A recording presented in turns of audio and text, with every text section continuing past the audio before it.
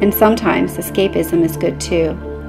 At the top, this cool cloud chocked full with glitter rains pink streams. It rains over this tiny creature who I painted to represent my oldest daughter.